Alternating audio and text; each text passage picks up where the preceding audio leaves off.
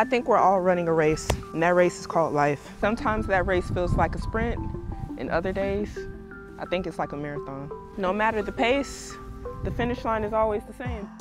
And at that finish line is our goals, ambitions, and dreams. I remember a time when I was still in the military, I had a soldier who kept falling out of runs. She kept falling out and then she kept making excuses about why she couldn't run.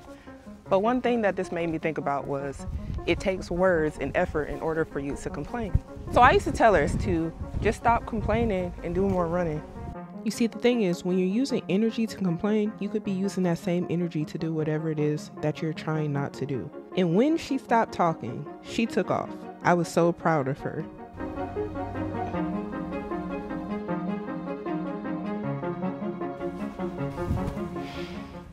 The valuable lesson is don't waste your breath making excuses. You see, life is like that race and nobody is going to carry you to the finish line but yourself. Yet, so many of us aren't running fast enough, not because we can't, but because of doubt and because of excuses.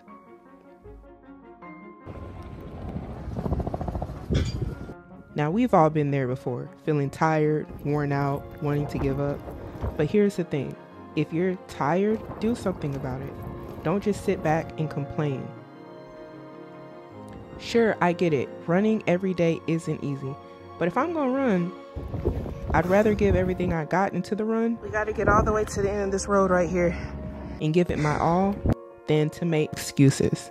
This is how far we've come, but this is how far we gotta go. Let's get it.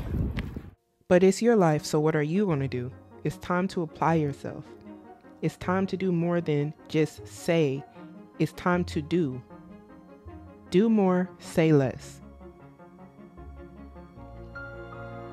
Because let me tell you, you can go from self improvement to self sabotage really quickly if you're not careful. Yes, it is hot. Very hot. You get there by quitting on yourself. My sunscreen is dripping in my eyes. Very uncomfortable. At the first sign of discomfort, whenever it gets a little rocky and it gets a little hard. But here's the truth you must get uncomfortable to reach your goals sometimes.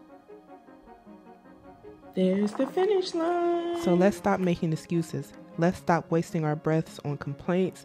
Let's start running our race with everything we've got. Because the only way to reach the finish line is by pushing through the pain, by embracing the discomfort, and never giving up. Remember, it's not about how fast you run, it's about never stopping until you reach the end.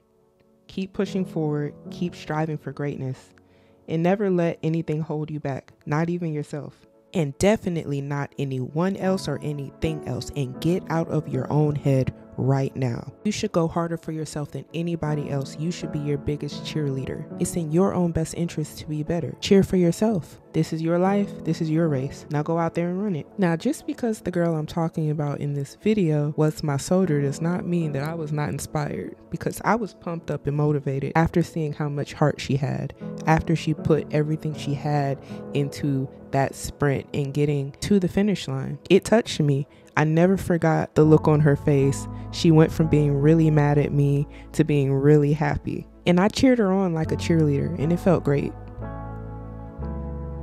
What's crazy about that is I bet she doesn't even know she ended up teaching me a lesson that day. And what I ended up learning was instead of using all of my energy and my breath making excuses, instead I should use the energy for my sprint, using everything I have to push myself forward. Even though that day I know she didn't like me. and I guess without that moment, I wouldn't be able to tell this story. I also do know if she ever hears this, she'll definitely know it was about her. But that's okay. She was truly one of the best soldiers I ever had.